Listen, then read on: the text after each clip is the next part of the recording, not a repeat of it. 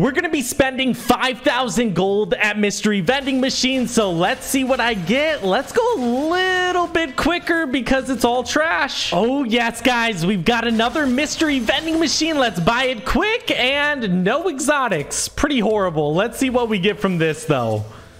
Okay, yeah, that's better than a thousand gold.